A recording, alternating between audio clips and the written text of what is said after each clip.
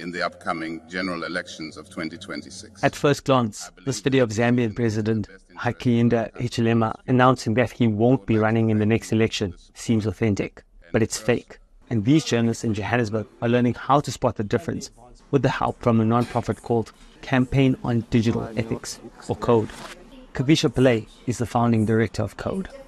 We're making sure that people are accessing information that is safe and is not going to be harmful, that the technology that we're using is not going to cause further um, harms to our society. Working with Code on this project is Africa Check, one of the continent's leading independent fact checking organizations. The staff at Africa Check encourage people to send them suspicious content. They're collaborating with Code to teach the public how to identify fake social media content. It helps to have not just someone to step in and do some work checking that kind of information, but also to be able to share tips and tricks and techniques for stepping in to stop that spread with anyone.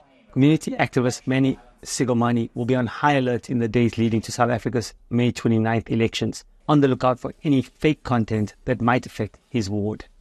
I think we, we're moving into an era where more and more the truth is being distorted and we kind of need these kind of initiatives to keep people grounded and to keep people responsible.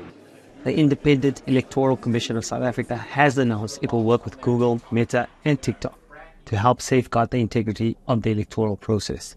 Zaheer Cassim, VOA News, Johannesburg, South Africa.